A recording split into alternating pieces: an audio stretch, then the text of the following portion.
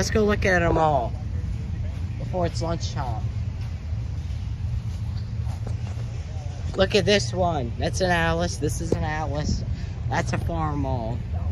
Let's go look at the John Deere's now. And then we're gonna sit down. After all the tractors, we'll sit down and eat. But the whistle blows, so first we have to watch that. What time is it? It's You look on your phone? I'll look on the phone after the video.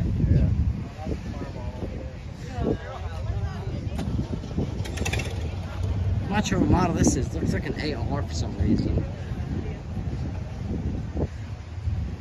This is a WD-45. Really, is that a good one? Yeah. There's an old Ford. I think one of these That Fords, Your dad has an actually. Up here. here's a Ferguson.